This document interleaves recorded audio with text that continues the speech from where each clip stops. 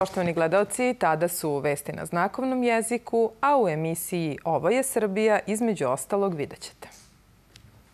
Grejna sezona donela probleme sa zagađenjem vazduha u Valjevu. Do kraja godine lokalne samouprave moraju da imenuju sve ulice na teritoriji svoje opštine ili grada. Stočari udaljenih ivanjičkih planinskih sela spremni za ledene dane. Spremili smo žita dosta. Prokupački osmaci svake subote na zelenoj pijaci prodaju zimnicu kako bi ceo razred otišao na ekskurziju.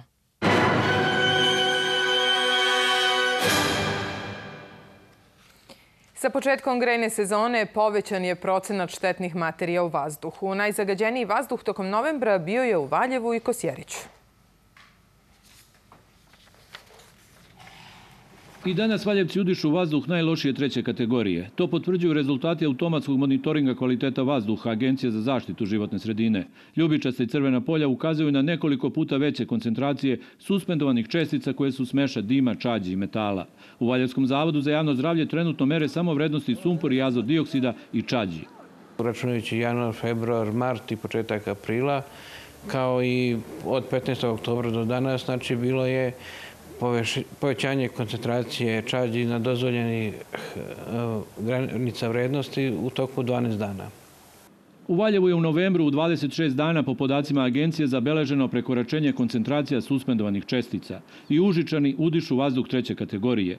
Uprkos preduzetim merama u ovom gradu, veliki broj individualnih kotlarnica i specifičan položaj u kotlini najveći su problem. To je slučaj i u Valjevu.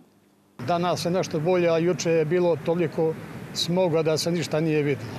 Mnogo je zagađeno i mislim da bi trebalo da se radi nešto po tom pitanju ozbiljno. Mislim da trebamo mi svi da budemo odgovorniji, a pogotovo strukture koje čine grad. Zbog zagađenosti vazduha u Valjevu su pokrenute inicijative za javnu raspravu koja će biti organizovana do kraja meseca po odluci Gradske skupštine. Već godinama se najavljuju projekti za smanjenje zagađenosti. Pomak u ovoj godini je gašenje velike kotlanice u Valjevskoj bolnici koju sada greje gradska toplana. Počeli su radovi na izradi projekta za eventualni prelazak na korišćenje e, biomase, odnosno e, drvne sečke. Nadamo se da ćemo time uspeti da snizimo cenu energenta, samim tim što imamo izbor više vrste energenta i da ćemo to moći da prenesemo na krajnje korisnike u smislu sniženja cene i da ih na taj način animiramo da se priključe na daljinski sistem grejanja i da ugase svoje kotlarnice koje su u zimskom periodu praktično najveći zagađivač. Zbog aktuelne situacije sa zagađenošću vazduha u Valjevu iz lokalne samouprave najavljuju dolazak direktora Agencije za zaštitu životne sredine do kraja sedmice, kao i donošenje mera početkom naredne godine za ublažavanje problema aerozagađenja. Više puta izveštavali smo o zagađenju Blatašnice, reke koja se uliva u akumulaciju Ćelije, odakle se vodom za piće snabdevaju žitelji Resavskog i dela Topličkog okruga. U Blacu je Biljana Popović. E, Biljana, da li će uskoro početi čišćenje Blatašnice? Mi se nalazimo pored Blatašnice koja je jedna od najzagađenijih reka u Srbiji. Ona je izrazito crne boje i neprijatnog mirisa. E, pitali smo meštane koji ovde žive kako je živeti ovde. Njihove kuće su smeštene u samu reku, pa da čujemo šta su nam rekli, ali i o tome šta misle o rešenju problema koji je izgleda na pomalu. Ja ne znam sve šta onda, odakle se ne sliva u izmeti. Ne možeš kad ugreje sunce to da Bog sačuvaj. Pa ovde nekako. A kad kreneš tamo kao što se uđo ta dole što ide, to ubi Bože. Mnogo zadara. Pa značilo bi mnogo, kako ne bi značilo. Uopšte za životnu sredinu, za zdravlje, za... Na kraju krajeva i Kruševac se snabdeva, uliva se, pije vodu odatle mnogo bi značilo. Nadležni godinama pokušavaju da reše ovaj problem, ali izgleda rešenje je na vidiku. O tome pričamo sa predsednikom opštine Blace, Milanom Ćočićem. Opština Blace je potpisala izjavu o davanju saglasnosti za pripremu tenderske dokumentacije za izgradnju postrojenja za prečišćavanje otpadnih voda i izgradnju zamene kanalizacione mreže u opštini Blace. Vrednost ovog projekta koju opština Blace sprovodi zajedno sa opštinom Brus je 11 miliona 640 hiljada eura. Vrednost postrojenja koje će se graditi u opštini Blace iznosi 5,2 miliona eura. 65% od toga učestva Evropska unija preko IPA fondova, a, opština Blace učestvuje sa 11,4%. Ostali deo finansira Ministarstvo financija Republike Srbije. Ovo podrazumeva i prečišćavanje otpadnih vode u Blacu. Naravno, naravno, posle tog e, prolaska prljava voda prolaskom kroz postrojenje e, će počistiti sve loše primese koje se u njoj nalaze i izlazit će pijaća voda u reku Blatašnicu. Cilj ovog projekta je poboljšanje uslova zaštite životne sredine i rešavanje gorućih problema koje opština Blaca ima sa rekom Blatašnicom, rešavanje hidroakumulacijonog jezera Ćelije iz kog ceo Rasinski okrug dobija pijaću vodu. Hvala vam predsjedniče. Eto toliko iz Blaca. Mi ćemo naravno izveštavati i kada bude počela gradnja ovog postrojenja. Hvala tvom sagovorniku i tebi. Koleginica Biljana Popović javila nam se uživo iz Blaca. A tokom obilaska brane na reci Busur, koja je u junu pukla i poplavila 20 naselja u opštini Petrovac na Mlavi, rečeno je da će biti urađena regulacija vodotokova prvog i drugog reda kako bi se sprečile redovne poplave u tom kraju. Radove na brani u vrednosti od 186 miliona dinara finansira Kancelarija za javno ulaganje obuhvata kompletnu rekonstrukciju brana sa njenom promenom nekih funkcionalnih karakteristika, izgradnjom u prvoj fazi četiri pregrade koje će zaustaviti mulj i sistemom drugih antierozivnih e, mera na području koje će obezbediti e, stabilnost i funkcionalnost ovog objekta. Paralelno sa ovim radimo i regulaciju kroz kompletno selo, dakle nekih 600 metara. Pa ima objekata čak koji nisu ničije nadležnosti. Nisu to samo ovakvi objekti. Vi imate, na primjer, i veštačke akumulacije koje su upravljene da bi navodnjavale prostore po Vojvodini. Ne znam se koji njima gazduju uopšte. Imamo čak neke preduzeća koje su u stečaju. Zato spremamo nove propise koji će sve ove objekte obuhvati država da se stara o njima,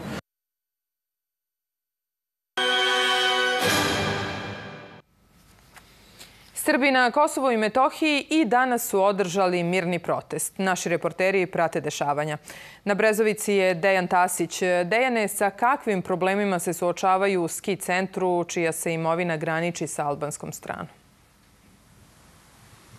Zorana, posljedica ovih taksi na srpske proizvode od 100 od 100 osjeća se na severu Kosova, ali ste pogotovo osjeća ovde e, na jugu u šest srpskih opština južno od Ibra.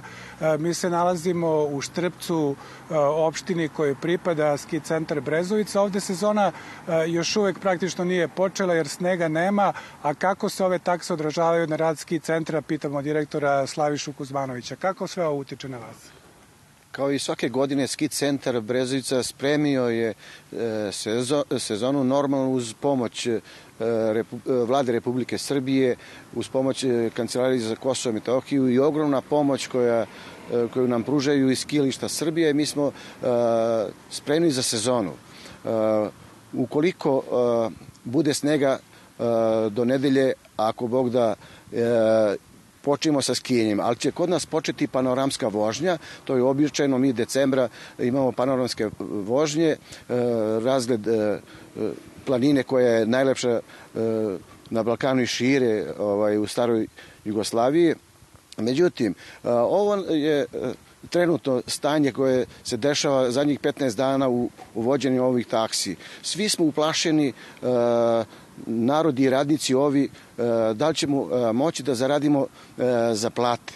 A pretpostavljam i turisti koji bi trebalo da dođu ovde. Da.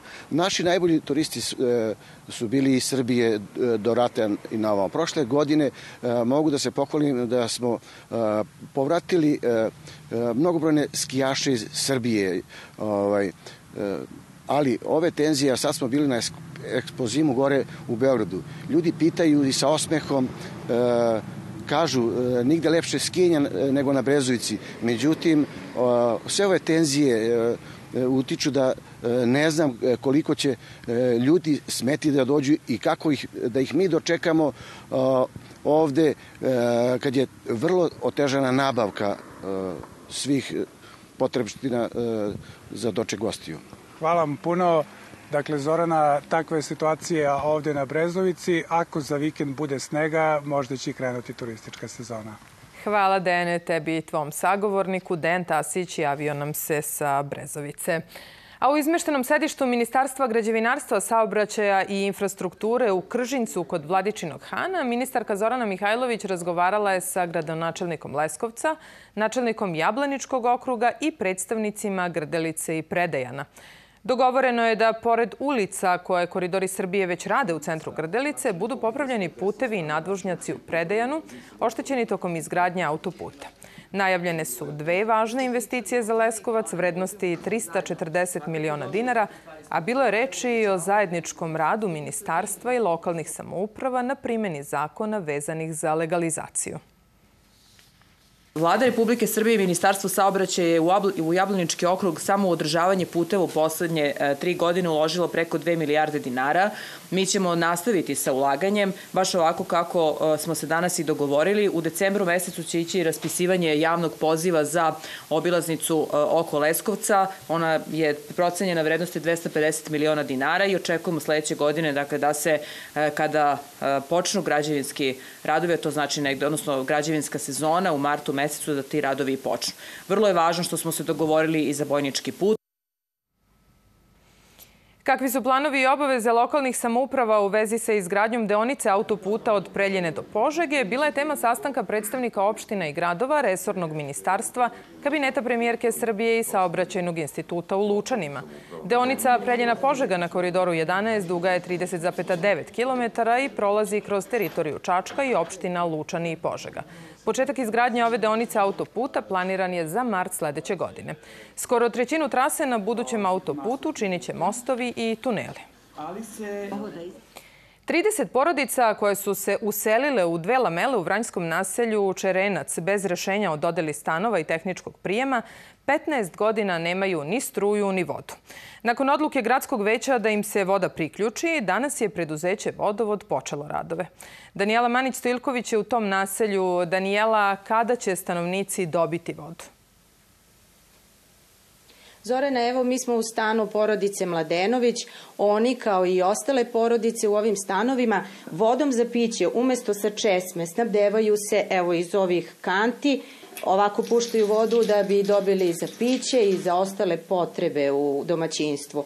I tako je već 15 godina. Instalacije koje imaju, one su već dotrajale, zarđale su cevi, tako da to neće moći da se koristi. Oni će morati da postave i instaliraju nove. E, sada se rade priključci do zgrada, a naredne nedelje će početi i po stanovima. Kako se očekuje, oni bi trebalo da vodu za piće i ostale potrebe dobiju za 15 dana. A da pogledamo kako se snalaze i šta kažu u vodovodu vučeš vodu, nosiš gore, sipaš vodu dok smo malo uzeli to creva, znaš, pa onda onako smo nosili na ruke. Vučeš, pereš na ruke, a gde ja u 70 godine da perem na ruke? Kupanje, kao u pra, praistorijsko vreme, lonac, zagrejemo, nosimo u kupatilo, svega ima unutra instalirano, ali ništa ne radi. Sad da će Bog valjda bar vodu da dobijemo. Vrednost radova je negde oko 3,5 miliona dinara, a stanari u svojim unutrašnjim prostorima e, snose 24.000 e, po prisključku, što smo im omogućili s obzirom na socijalnu kartu ovih ljudi koji ovde žive na 24 e, mesečnih rata smo potpisali ugovor.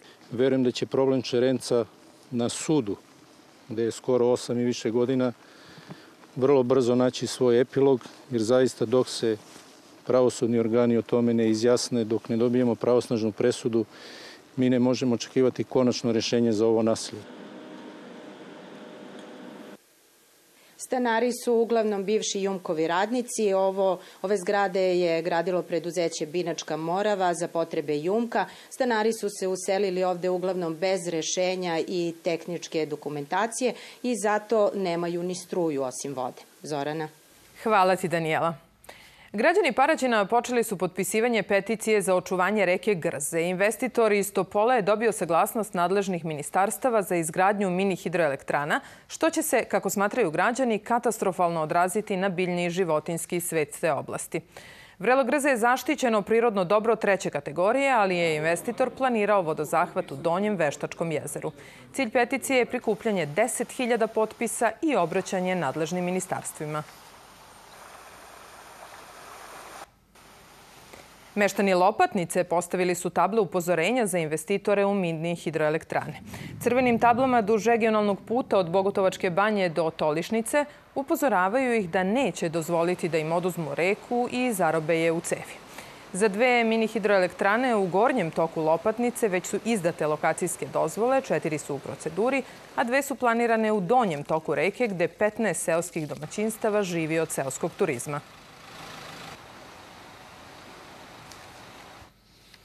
Vlada Srbije pozvala je sve lokalne samouprave da do kraja godine daju imena svim ulicama na teritoriji svoje opštine ili grada kako bi bila uvedene u adresni registar. Za samo 15 dana opština Vrnjačka banja i saveti mesnih zajednica imenovali su svih 390 ulica i zaselaka. Vrnjačka banja ima jedno centralno banjsko mesto i 13 sela i naselja. U selima više nema lokalnih puteva i sokaka, već ulica sa novim adresama i brojevima kuća. Mnogi seljaci i ne znaju da su im adrese promenjene. Da li vi znate naziv sada svoje ulice? Da, ulica Širik. Širik u Gračacu. Za sada ne znam, još nisam upoznat sa time. Vrnjačka banja je imenovala 367 novih ulica i 23 zaselaka. Po broju novih ulica na teritoriji opštine Vrnjačka banja prednjače pre svega velika i bogata pomoravska sela, pre svih Novo selo, Gračac i Podunavci. Umesto puteva, ova sela su dobila 155 novih ulica. To znači da će meštani morati da zamene i lična dokumenta, a ne samo brojeve kuća. Zašto se menja?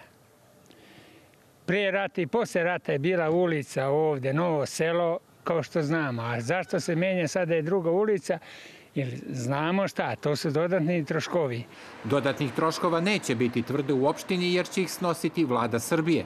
Raspisat će se e, tender, odnosno javna nabavka za ulične table i za kućne brojeve, odnosno građani neće platiti ni kućni broj, ni u ovaj tablu uličnu, a takođe u narednoj godini u toku od prilike aprila ili marta meseca moći će da zamene svoje lične dokumente, odnosno ličnu kartu o trošku države. Sve ulice u okolini Vrnjačke banje su već uvedene u adresni registar. Uskoro će i svaka kuća dobiti svoj broj.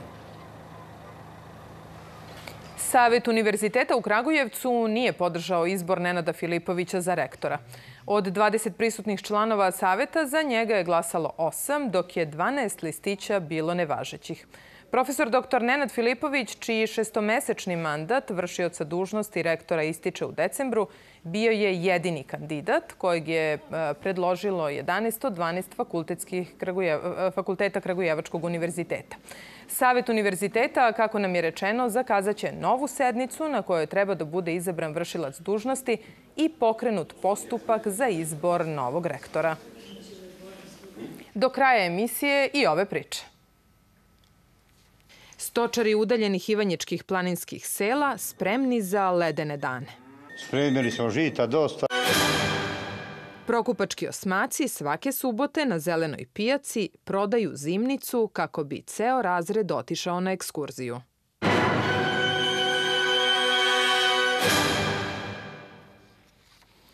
Dva dana pre zvaničnog početka zimske turističke sezone na Koponiku je počelo skijanje. Sistemom za veštačko osnežavanje osposobljene su tri staze, a skijanje je danas besplatno. Kako RTS saznaje, dežurna ekipa zimske službe Kruševac puta na punktu Srebrnac obustavila je rad zbog kašnjenja u isplati zarada, ali nema zastoja u saobraćaju na relaciji Brus-Koponik. Iako na Javoru još nema mnogo snega, noći su izuzetno hladne. Stočari na padinama Ivanjičkih planina, poučeni iskustvom u oštrim i dugim zimama, na vreme su pripremili dovoljno žita i silaže za ishranu stoke. Prelepa prostranstva zima u Kušićima očas pretvori u ledene pejzaže. Na hiljadu metara nadmorske visine Ivanjičko selo još nije zavejano, ali znajući čud Javora, meštani se pripremaju za hladne dane. Treba spremiti za stoku prvo hrane, pa posle gledati, čistiti, polagati, to baš je teško. A sve je jeftino. Mleko ne možeš prodati, sir ne možeš prodati, cela diona tu i tamo, načisto je teško. Posla imaju dosta jer svakodnevno brinu o 30 grla krupne stoke. Uz krave, bikove i junice, boškovići, tove i prasiće. I godina je, kažu ovi dugogodišnji stočari, bila teška i kišna. teško su ljudi ovaj, seno ukosili i tako da pravo, mi smo napravili malo silaže od 3-4 vagona i spremili smo žita dosta i sad eto ti zima ko zima dok oni prihranjujemo ovo i tako. Navikli su žitelji udaljenih ivanjičkih planinskih sela na dugu i hladnu zimu. Ponekad, zbog visokih smetova, danima ne mogu da odu do komšija ili prodavnice. Za sada im decembar ne pravi velike probleme, sve je prohodno, a oni su spremni da na Javoru zimuju.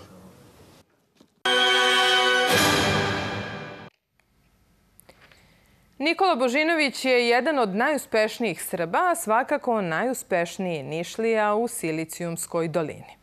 Svoju kompaniju Frame udružio je sa američkom kompanijom za iznos od 156 miliona dolara, a iskustva te najveće takozvane akcizijske jednog start-upa podelio sa svojim sugrađanima. Nikolu Božinovića njegovi sugrađani pamte kao vođu studenskih protesta. On se seća tog vremena, ali sa njima pre svega želi da podeli kako je u proteklih 18 godina koliko živi u Americi uspeo da ostvari svoju viziju. Bill Gates kad je pravio prvi uh, operativni sistem nije znao da će na tome ceo sve da radi. Mislim, oni su računali da će to da zadovolji potrebe par hiljada nekih entuzijast, entuzijasta, to se onda razvilo nešto mnogo veće. Isto važi za sve neke druge tehnologije, ali bitno je da imaš viziju šta je moguće i da onda budeš vrlo uh, uporan, efikasan, da tvrdo radiš. Za brojne Nišlije nije bilo dovoljno mesta u start-up centru, pa su ubrzo svi morali da se presele u amfiteatar na elektronskom fakultetu. Većina njih zna šta znači software Frame, koji omogućava da se koriste aplikacije u takozvanom cloudu. To znači da vi inače imate neke programe na svom kompjuteru i tako su stvari funkcionisale decenijima unazad. Ti programi moraju da se instaliraju na kompjuter i tako dalje.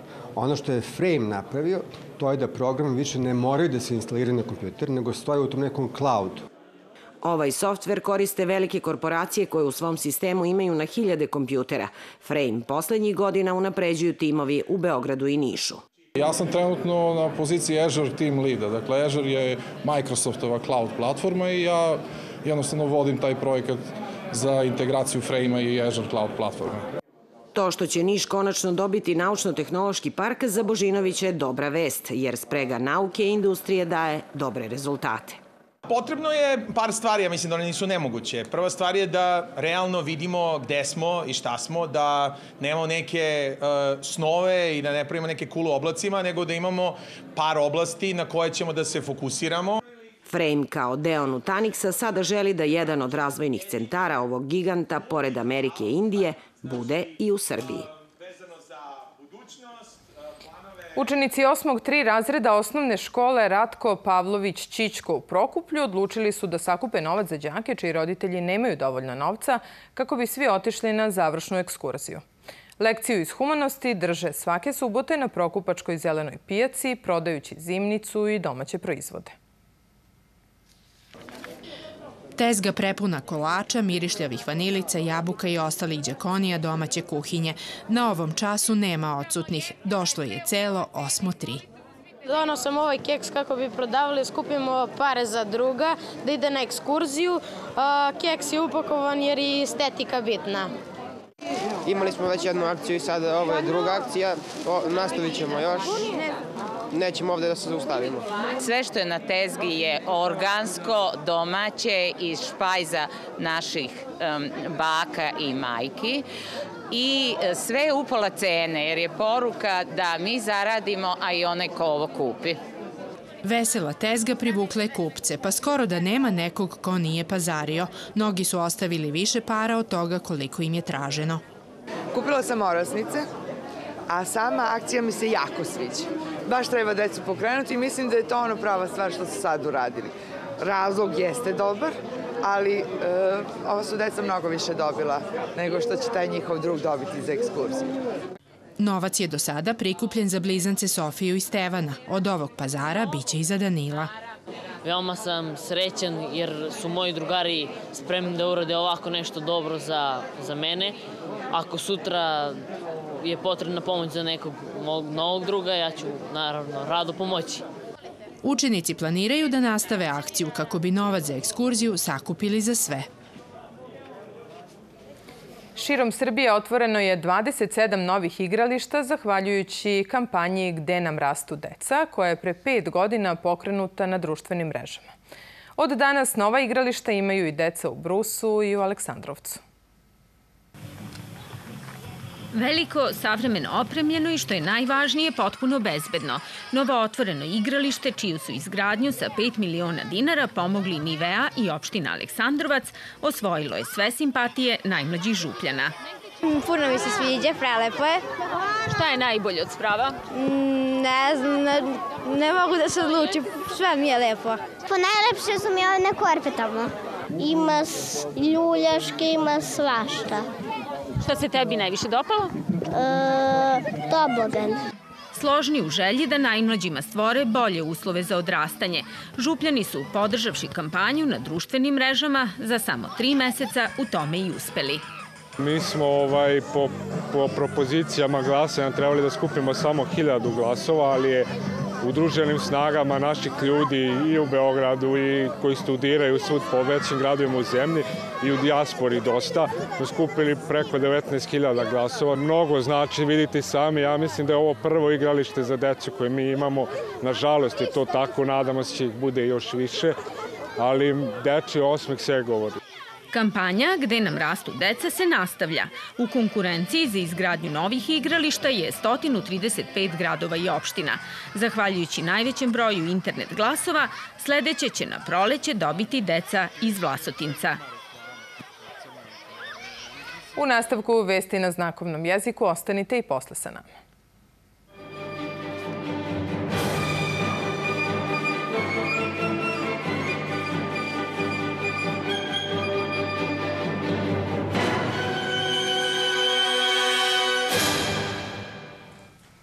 U Kosovskoj Mitrovici, Gračanici i Štrpcu istovremeno su održani mirni protesti Srba sa Kosova i Metohije zbog neodustajanja Prištine od takse od 100% na srpske proizvode. Sa Svesrpskog sabora zatražili su od Prištine i međunarodne zajednice da odmah ukinu takse. Poslednji je trenutak da Evropska unija pribegne svim političkim i diplomatskim instrumentima kako bi se privela razumu Priština, koja je odabrala put destabilizacije i neodgovornog poigravanja sa krhkim mirom na Kosovo i Metohiji, ističe se između ostalog u proglasu srpskog naroda sa Kosova i Metohije. Preko administrativnog prelaza Jarinje danas nisu mogli ni košarkaši Partizana, ni zamenik direktora Kancelarije za Kosovo i Metohiju Dušan Kozarev. Oni su hteli da podrže Srbe na današnjem protestu, ali im je zabranjen ulazak na Kosmet. Košarkaši Partizana trebalo je i da u Leposaviću odigraju prijateljsku utakmicu sa ekipom Trepče iz Kosovske Mitrovice.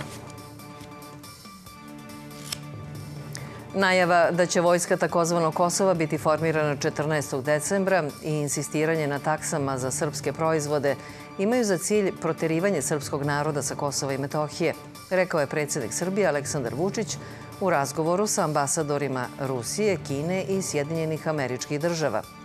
Vučić je upozorio da time Srbiju i region kao da neko namerno gura u sukob. Ambasadore Kine i Rusije je zamolio da obaveste Peking, odnosno Moskvu, o dešavanjima na kosmetu, a američkog ambasadora da Sjedinjene američke države upozore Prištinu da svojim potezima ugrožava mir i stabilnost u regionu.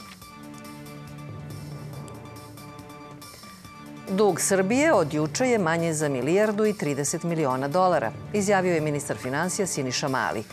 Time je, kako je objasnio, i učešće javnog duga u BDP-u smanjeno za 2% i sada iznosi 54,1%.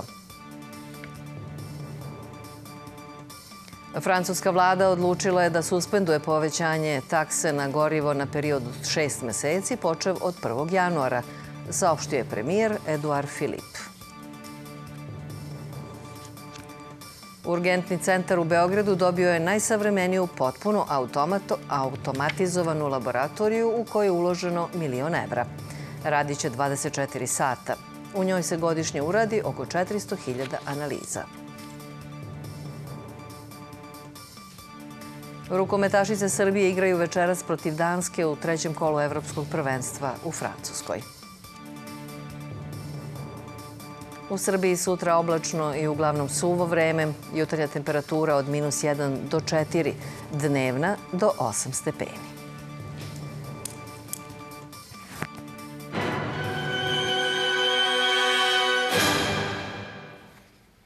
I dalje gledate emisiju Ovo je Srbija. Preko administrativnog prelaza Jarinje danas nije mogao da pređe zamjenik direktora Kancelarije za Kosovo i Metohiju Dušan Kozarev, ali ni košarkaši Partizana. Oni su hteli da podrže Srbe na današnjem protestu. U Kosovskoj Mitrovici je Natalija Vidić. Natalija, kaži nam šta se dogodilo. Košarkaši Partizana zadržani na administrativnom prelazu Jarinje već su na putu za Beograd. Oni su, kako si već i rekla, najpre trebali u znak podrške srpskom narodu da pristuju sve srpskom saboru ovde u Kosovskoj Mitrovici u 12 sati, a potom i da odigraju prijateljsku utakmicu sa košarkaškim klubom Trepča, inače njima s bratimljenim klubom, ali eto do utakmice nije došlo. Predsednik Skupštine Košarkaškog kluba Trepča Boško, e, Bojan Jakšić je bio na Jarinju i evo šta nam je rekao zbog čega su e, zadržani i košarkaši Partizana na Jarinju. Konkretno od strane Kosovske policijske e, službe košarkašima i upravi je rečeno da oni ne mogu da uđu na teritoriji Kosova zato što jednostavno njihov dolazak nije najavljen. To je bio neki njihov razlog, Mada oni u principu su bili u privatnim vozilima, u privatnoj poseti, jednostavno kao svi, svi ljudi što ulaze, ali oni, pretpostavljamo, pretpostavljamo da su oni imali najavu iz Prištine da jednostavno zbog odigravanja te prijateljske utakmice ekipu Partizana zaustavi i da im ne daju da prođu. E, ovde je reč o prijateljskoj utakmici. Da li to znači da će biti problema i sa nekim drugim utakmicama? Pa e, sigurno i prošlog vikenda je odbojkaška ekipa e, koja je dolazila da igra u goste kod naše kluba ovde iz Kosovske Mitrovice nije takođe mogla da, da ovaj, dođe, tako da verovatno će od sada pa nadalje, ukoliko se nešto ne reši, biti velikih problema oko odigravanja tih utakmica koje su, kažem, e, trebale da se odigraju u Kosovskoj Mitrovici. Moram da nagovestim da i neke mlađe kategorije, jednostavno sve utakmice su odložene zbog ove situacije, tako da se trenutno, da kažem, na severu Kosova, ja ne znam, u principu nisam ni čuo, ali jednostavno sport je malte ne zamra. Inače, prijateljska e, utakmica je trebalo da bude e, odigrana u Leposaviću zato što Košarkaški klub Trepča nema svoju sportsku halu, ali se oni nadaju ne zadugo, jer iza nas je sportska hala u izgradnji ovde u Kosovskoj Mitrovici i rok završetka radova je 1. februar. Košarkaši Trepče se nadaju da će na svečanom otvaranju upravo sa Partizanom odigrati prijateljsku utakmicu. Zorana? Hvala ti, Natalija.